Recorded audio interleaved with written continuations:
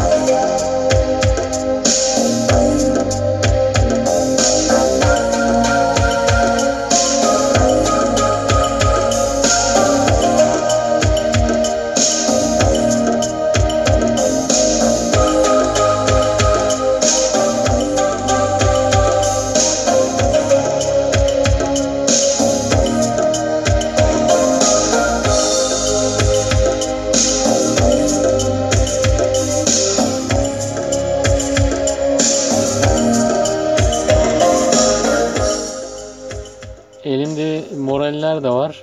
Moral e, Elite Mid Bass, Moral Supremo tiz var. Ondan sonra birkaç tane daha büyük tiz var. Büyük tize geçince bir video daha çekmeyi düşünüyorum. Şimdilik Gariban Style devam.